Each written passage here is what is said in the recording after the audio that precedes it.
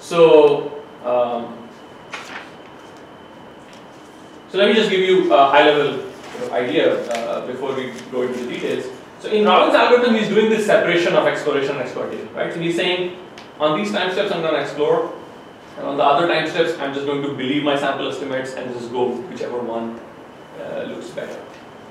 The idea of upper confidence bounds says that maybe we should separate these two things. I understand intuitively that I have to explore as well as exploit, exploit, but let's not be that naive about it that we just separate time steps into one of these two kinds. Um, let me be a little more uh, thoughtful about it. Uh, I have my empirical estimates. Let's say for, in the simple case, I have my sample means for each of the arms. Those means are based on some observations, right? Maybe for arm 1 I have 15 observations, for arm 2 I have 3 observations. So right, they're, they're based on different observations. We know from basic statistics that the mean, you know, the uncertainty in the, in, in the sample mean, it depends on how many samples it was constructed using, right? So if I if I have if I have a sample mean based on 15 observations, I should have more trust in it than one based on three three observations. So I think what I if I can create confidence intervals for my different means, maybe I should somehow use that fact in my decision. Okay. So this so this idea, uh, Lai Robbins uh, came up with this idea of using confidence bounds in these bounded problems. They assume that. Um, so remember, Robbins 1952 very general. The only thing he's assuming about these reward distributions beyond independence is that they have a mean, right? Which is like pretty much the least you could assume, right? Because you need these means to be defined even to write down the regret, right? If the if the mind if you have Cauchy random or something, you know, you don't have means, then, how are you even defining regret? But to give rates, it turns out that you need more structure. You know, so so the structure they assumed was parametric. So maybe my maybe I assume that my my k distributions are normals, or maybe they are Bernoulli with unknown right? So so they made parametric assumptions about these distributions, and what they did. Now you might say that's a step backward, maybe because you're assuming more structure, but but no, I mean it's progress because under the structure they proved really really strong guarantees. So for instance, they even worked out uh, they worked out the rate, so they showed that you can actually get regret not just sublinear, right? I mean, t to the power 0.99999 would be sublinear, right? So divided by t would go to zero. They're showing regret scales only logarithmically in time. That's fascinating, right? Um, log t is basically a constant if a physicist. Um,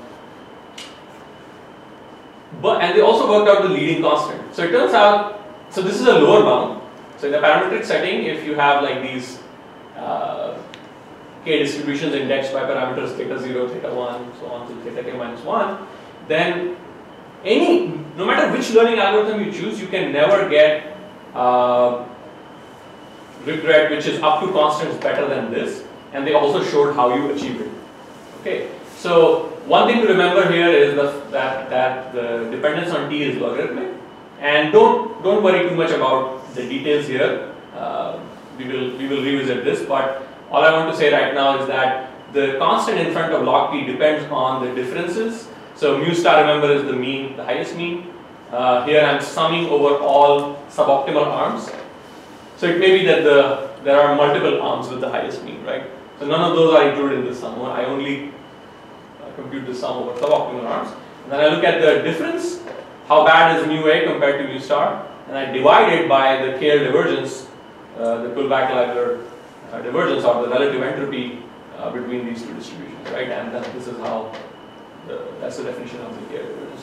But but you know details are not that important right now. The the thing to note is that there is some constant in front of log p which depends on the distributions you're talking about. If I change the Van problem, if I change the distribution, this constant is going to change but this this rate is still low. Okay. So as I said, they showed matching lower and upper bounds, which is kind of neat. Um, and they then instantiated these. They had an abstract construction of these confidence, confidence bounds that I'm not telling you about for a reason because I want to go to a more modern algorithm where the construction is very simple.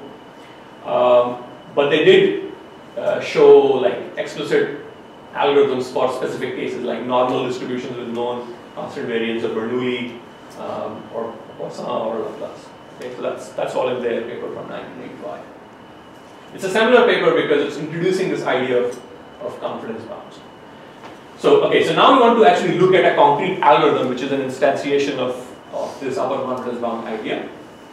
This uh, happened in the computer science literature. So following up on some work in electrical engineering by um, Agrawal, uh, who further simplified the algorithm analysis of Lai and Robbins. A, in 2002, a bunch of computer scientists, um, Peter Auer and company, they, they actually pretty much simplified the algorithm and the analysis and also made the assumptions as general, I think, as they can possibly be. So in 2002, uh, uh, this algorithm just called UCB came out, even though the idea of using upper confidence bounds goes back to and Robbins. If somebody says, we're using the UCB algorithm, 99% of the time they mean you know, this, uh, this paper, al. 2002. Because they, they call that algorithm just UCB. And it was more general uh, it could handle more general cases than Lai and Robbins because remember they needed a parametric family. Uh, these guys said, well in some sense incomparable because you know for instance normal it's parametric but but they are not bounded right. So these guys assume that your reward distributions are such that they that the rewards are always bounded in some interval. Okay, but other than that they're not assuming anything. So they're not assuming that they are uniform or Bernoulli or anything right. Any any any distribution could be non-parametric, but bounded support. And in fact, bounded support is not even needed. What you all you need is a sub-Gaussian tail, right? So a tail which is no heavier than a Gaussian tail. So for these for this problem, uh, here's the algorithm. Okay, so let's let's look at the actual UCB algorithm. This is the UCB algorithm from 2002 paper. Um, so here there is no, as you will see, there is no explicit separation between exploration and exploitation you start off by doing something simple. You just say, okay, in the beginning, just to make sure I have a valid empirical mean for each option, let me try every option at least once, right? So this just start. This is just initialization. Don't pay too much attention to that. That's just taking each action just once. This is the heart of the algorithm. Okay, so once you have at least one observation from each arm, what do you do? For each arm, you can compute its its empirical mean, right? So R bar AT is just the, uh, so what is NT of A? NT of A is the count. So far in your history, how many times have you tried action A, right? So NT of A is just go look back at your history and count the number of times you took action A, right? And what is R bar? That's the empirical mean. Just restrict our attention to those rounds where you took action A, collect, add up all the rewards and divide by the count, right? So in the formula, formulas look complicated, but the idea is very simple. You're just computing these empirical means. And, but you're also remembering how many time points is that average based on, right? Because that's important for getting confidence intervals. So you take your estimate and you add this kind of uncertainty bonus, right? So if, and then you say, pick the action that, that looks best not according to the empirical mean, which is what Robbins' algorithm would have done on exploitation runs, right? So Robbins' algorithm was separating. It was saying either just explore, on an exploitation rounds just go with the sample mean. This is saying no, let's not separate this exploration exploitation. At every round, I'm going to do the same thing, except that I won't maximize the empirical estimate. What I will maximize is an upper bound on it. And how is that upper bound constructed?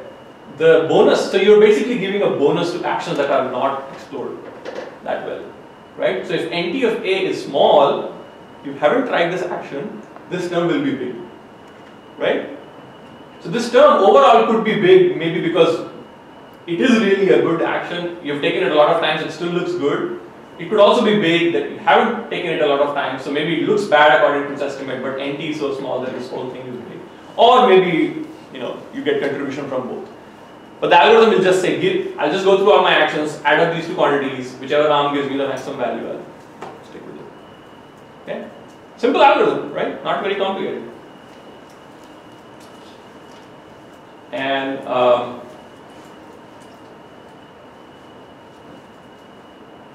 What can you say about this algorithm? So here's what you can say. Um, under the assumption that your reward distributions have a bounded support, but as I said, it's not really required. All you need is that sub-Gaussian assumption that your tails are going to zero faster than the Gaussians. Um, you can show that, that you can get these log type of, you know, these logarithmic predicted bounds that and Robbins pioneered in their 85 paper. And the, the constants are different. Remember, as I showed you, uh, Lai and Robbins were saying that this is actually the best any algorithm could do for these parametric families, right? Uh, the constant depended on this degree of suboptimality divided by the KL divergence between the between the optimal and the suboptimal arms. Here it's a it's a bit uh, different. Uh, it's these these differences are all that show up. There is no KL divergence here. Um, so you just get this is a constant, doesn't depend on time. Uh, constant with respect to t. So if you focus on the term that does increase with t, it's logarithmic, and the constant is eight, you know, divided by the suboptimality and then you sum this up over all suboptimal actions. Okay? So neat analysis, very general, uh, simple algorithm, and this bound holds doesn't hold asymptotically, it holds for every t, right? Holds also holds for t equals five, right? So five times that's plug in five here, and that's a guaranteed upper bound on this vector.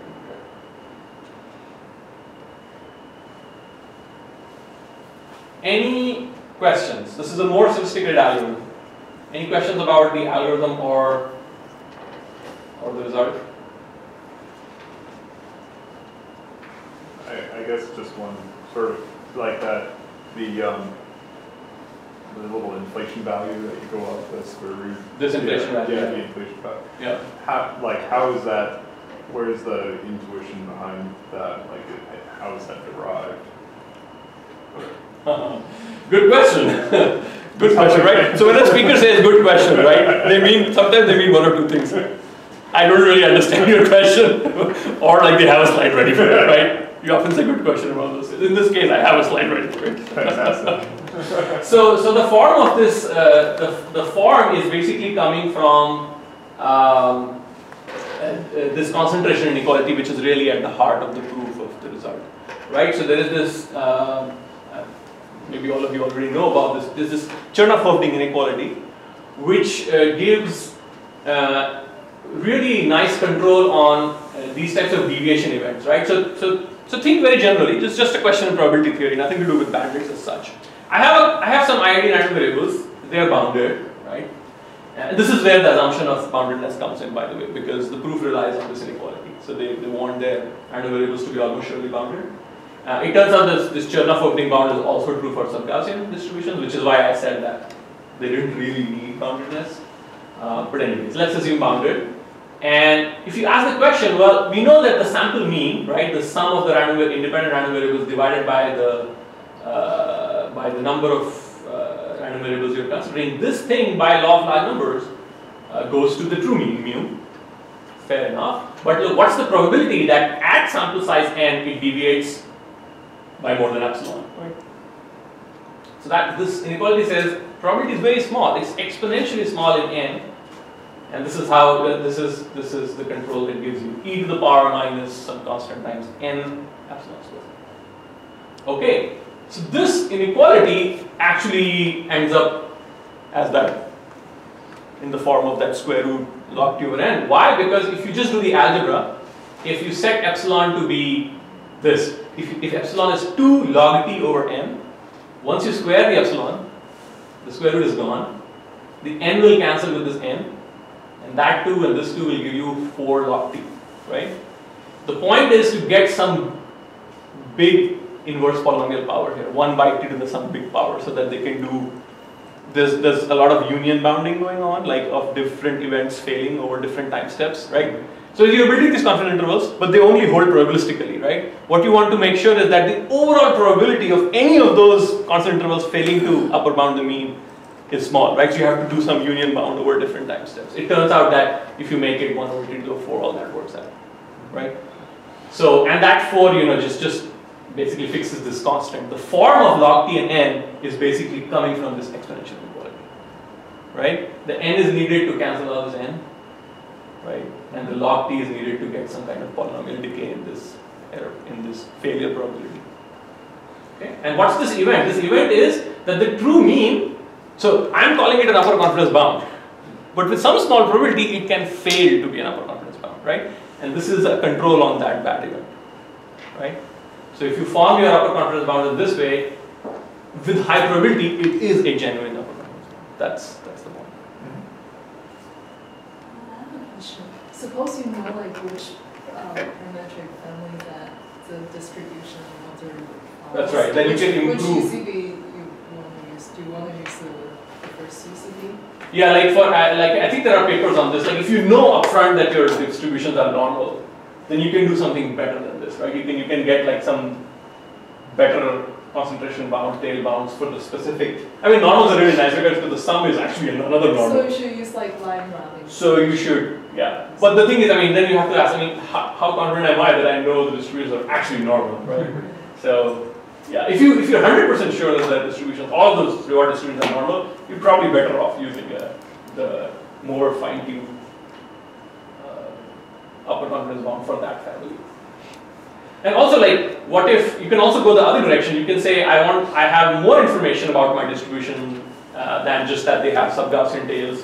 I actually know the parametric family. That's you can go that direction. You can also go the other direction. You can say, what if my random variables have really fat tails?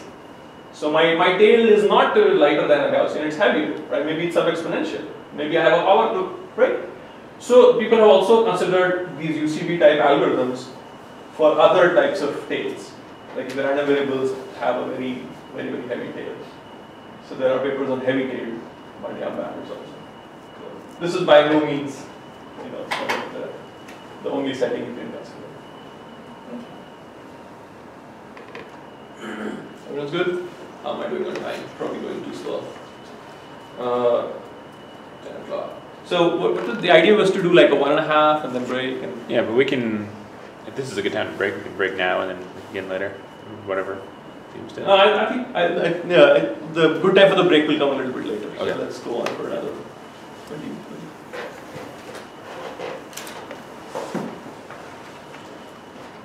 What do people feel? Should I speed up or, I mean, for myself, I'm going slow, you know, because I know all of this material, but I'm not sure. I think this is great. This is good, good base. Okay, so I'll, I'll keep then. Okay, so this is something I have already said that. Uh, uh, but this is, you know, for students, I think this point is important because you often read paper abstracts and introductions, and you know, you don't delve further because there are some terms that are specific to that community. So one of the things I'm trying to do for my students and for students here is telling you a little bit about the terminology different fields use, right? So this Robbins type algorithm in, in, uh, in, especially in control theory literature will often be referred to as certainty equivalent with forcing. What does that mean? Forcing part refers to the fact that you're forcing the algorithm to explore at certain time points. Certainty equivalent means when you do exploit, you believe your point estimates with certainty, right? So you're certainty equivalent with force. Uh, another word, maybe more computer science-ishy, is greedy exploitation with forced exploration. Right? It's another word people use. Uh, but the idea is that these algorithms separate exploration from exploitation. The pro of for these algorithms is that it's, it's a simpler design. You don't have to worry about these confidence intervals. Because the form of the constant intervals somehow will depend on the types of random variables you're talking about. You can, I don't think, I mean, how can you construct like a universal, maybe you can do some, something like a bootstrap constant interval, I don't know. Uh, certain people have certainly thought about going that direction. Uh, but if you think Rob, if you think Robbins' first algorithm, it's really it's really simple design. You don't have to think about constructing these constant intervals. You might say that okay, what's the big? I can, I mean, you're statisticians, we can construct constant intervals. But what happens is that in more complicated bandit algorithms, like where your action space is maybe in some metric space, your action space is really complicated. These constant intervals can get very complicated, and then the optimization problem of finding an action that trades off the estimate and the constant interval that can become very complicated. So UCB type algorithms are great, but but they do have they do tend to have a complex uh, design phase in, the, in coming up with these constant intervals. Um, the downside of Robbins type algorithms is that you can you often get uh, um, suboptimal uh, replay. UCB algorithms can often land you in, in very close to the lower bounds.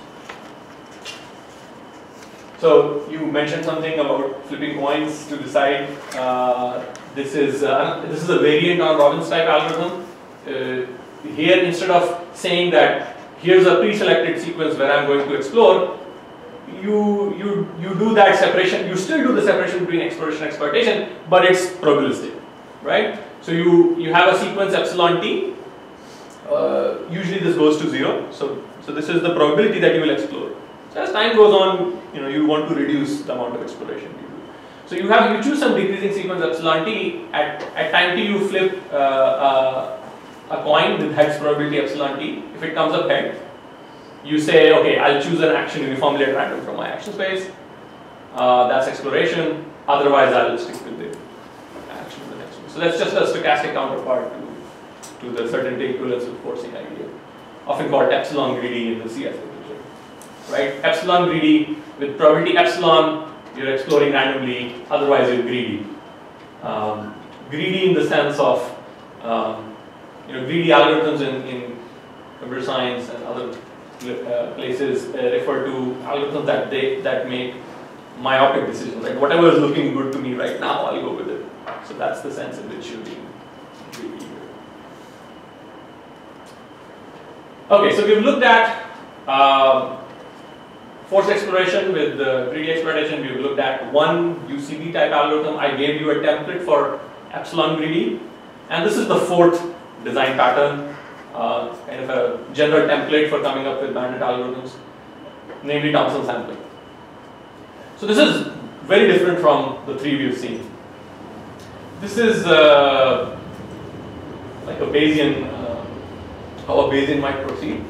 What you do in Thompson sampling or posterior sampling is you first of all you put some prior distribution over these parameters, right? So let, let's let's again think parametrically, right? So let's assume that you are happy to believe that uh, your distributions are in some parametric family. So you have k, oh, this should be a k minus one. Um, so you have your theta zero to theta k minus one, one parameter per arm, and you put some prior distribution on this parameter. That's what you do at the start. Now at every time step, at time step one, this posterior is just going to be the prior. But at some later time step, it's going to be a genuine posterior in the sense that it will have some contribution from the prior and some contribution from the likelihood of the data you saw so far. But what you do is you just sample from the current posterior, right? So you maintain uncertainty, but not in this frequentist sense of confidence intervals. In this Bayesian, when you, you are maintaining a probability distribution of, over your parameters, so you have a posterior distribution. In Thompson sampling or posterior sampling, posterior sampling actually explains the idea. You take a posterior, you sample from it. Now once you sample, what you get? You get one particular fixed set of parameters, right? Now, for that parameter that you sampled, you just behave like the oracle, right? So if that is the truth, that's the real bandit problem you're facing, that those are the distribution. Just pick the action with, with the, whose mean is highest, right? Because now I'm telling you, once you sample from the posterior, it's as if somebody told you, oh, these are the real parameters. But if you know the real parameters, you also know what the correct decision is, right? So that's it. Sample from the posterior, do the right thing, as if that sample is, is correct. Of course it's not, right? But you do, you behave as if it's correct. And then finally you observe the reward because you know, the environment is going to give you feedback corresponding to your action. You update your posterior and this appears. So it's very general, doesn't just, it's not just for multi-arm bandits you can use, and I think, I think you were telling me someone here is working on A few different people use use Thompson sampling here, yeah. Yeah, so this, this is very general, uh, which is one of the nice things about it. Uh, Well, actually, I have a list of questions, but I might as well just ask this one now. So one of the things that we often do, because we have big systems, is we don't actually use a true posterior, we sample from the sampling distribution of an estimator. Uh-huh, uh-huh. And I didn't know if that had a name in, in, in CS or not, but uh, Oh, that's, that's generally our cheapo surrogate, because Oh, I see, I see. uh, we might have a complex spatial process and we can't Right, run MCMC every step. So we Mm. just, if it has a estimating equation, we get a sampling distribution, draw from that, and then take the argmax. And so that's sort of how we Uh, have been proceeding. Yeah. I see, yeah, I don't know if that has a name. This is very similar to the Bayesian learning that I implemented for LaserCAD as well. So you put uh, power distributions and the Q value, spatial action, and then you, you sample and you, you explore and explore according to the sample Q values. Oh, that's right. So as you go into more complex decision-making problems like reinforcement learning, there are also, you have some choice as to where you put your Right. priors, right? I mean, in this case, it's very simple, right? There's not really much choice. But you're, you're right. Like if you're, if I, I have seen people putting priors on either the, the a parameterized version of the Q function or, or the, I mean, the, the, the system dynamics itself, right? That you could put a prior on, right? So you get some, there is some freedom there in where you put uh. But in this case, it's not. I mean, it's such a simple problem. that There's really not much freedom in, in deciding where to put your, what's the object that you're modeling as random? What's the object related to the underlying system that you're modeling? Okay, so this, okay, let me, let me, let me tell you a little bit about the history before we look at a particular, so Thompson sampling in this slide, this is not an algorithm, right? This is, this is like more like a template. Um, I'll show you an actual algorithm, but before that, let me tell you that, which, this is fascinating. Um, I think, and I, I have done a little bit of literature search, but not a very comprehensive literature search, is that the first paper that anybody cites, chronologically the first paper, on multi-arm bandits is a paper by this guy Thompson, who I don't know, I don't know if he did anything else that has such a lasting impact, but clearly this paper from 1930, 1933 uh, appeared in Biometrika. It's probably the first paper to talk about a bandit problem. He's talking about clinical trials actually. Um, so his P is indexing people as they're coming in, and your options might be drugs uh, of different types of drugs. Um, but he didn't he didn't really do much mathematical treatment of the problem. So that's why when people uh, talk about regret and lower bounds and consistency, they always cite Robbins because really in 1952, that's about you know 20 years later, that Robbins paper is the first paper to mathematize, formalize the problem and ask formal questions about it. But Thompson's paper is the first paper that talks about the problem itself. Okay, and I cannot find a paper which is before this 33. And his approach is basically Thompson sampling. That's why it's called Thompson sampling because you know Thompson. That's the name of the author.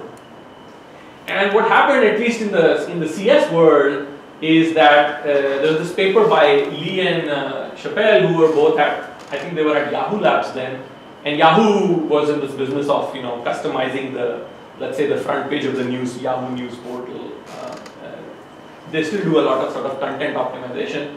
So they found that actually using this Thompson sampling idea was beating other algorithms that had all these nice optimality guarantees, right? Like they would run experiments with UCB and Thompson sampling, and Thompson sampling would either beat or perform as well. Um, but but there was but for some reason the mathematicians and the theoreticians had just ignored. Uh, not that people were not using Thompson sampling, but the corresponding theoretical development for Thompson sampling was, was missing. So they so they reported empirical results in a 2011 paper, and they stated it as an open problem in COLT. COLT is uh, is conference on learning theory, which is uh, for theoretical machine learning papers. It's kind of the, the best uh, international venue to publish. So it also has an open problems track. So in the open problem track, they they said that it, in our experiments, Thompson sampling works great, and we know that applied people know about this idea and they use it, but we don't we don't know much about this algorithm. Like, does it have the same kind of logarithmic regret bound that UCB satisfies? They just stated as an open problem, and you know, once it was stated as an open problem, it turned out that you know uh, we had the tools to understand. It's just that the question had not been asked. So immediately, within a within couple of years, there was significant progress in in understanding what kind of regret properties this Thompson sampling uh, algorithm and its variants has. And I also would like to mention that Google Analytics, like if you're a customer of Google Analytics and you're saying, you know, I want to morph my website in ways that give me good business, uh, they actually uh, have an uh, have an implementation of Thompson sampling that anybody could use to optimize websites and for running uh, web content experiments. And there is actually a, a sequence of papers by this uh, person, Scott, who at least was working for Google uh, till 2015. I don't know if he still is, but he wrote he wrote a sequence of papers, applied papers, uh, talking about uh, different issues that come up when you implement Thompson sampling at, at a web scale. So certainly an algorithm with huge uh, sort of applied and theoretical interest. And here's here's what it looks like in a particular problem. So let's say let's say you're happy to assume that your rewards are are are Bernoulli, right? So they are either zero or one. Of course, you don't know what the probability of being one is. That's your that's the thing you don't know about your k arms. They're all Bernoulli, but you don't know the means.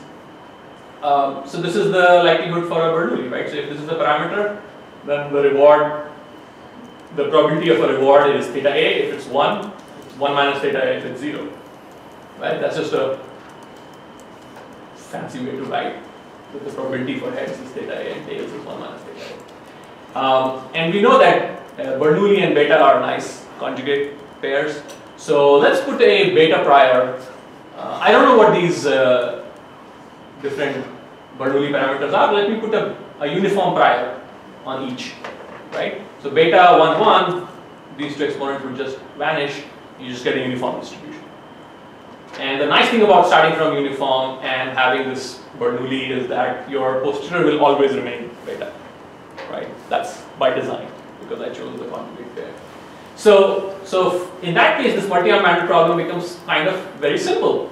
There is really no, so Eric was talking about how in complex situations this posterior, like there may not be any analytic form, even numerically it will, might be very hard to sample from it. But this is a very, very simple situation where we will actually have an analytic form and in fact the posterior will just be given by these two parameters in the beta distribution.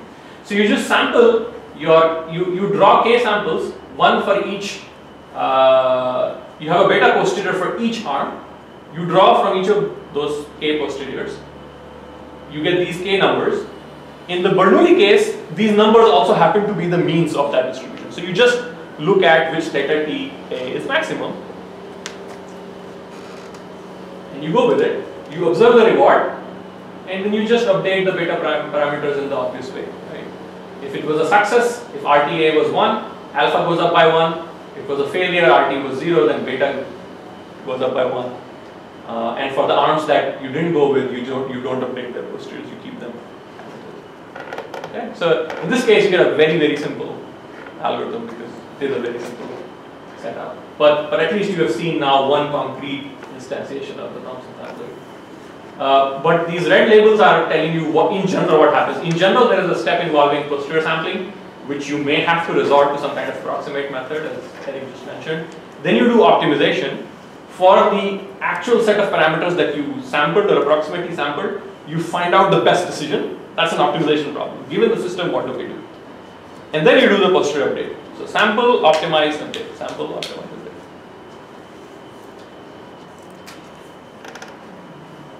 Okay, and um, so when I say there has been significant progress in theoretical understanding, what I uh, what I mean is that people have actually shown that it is it is optimal in this uh, in this Lai and Robbins sense.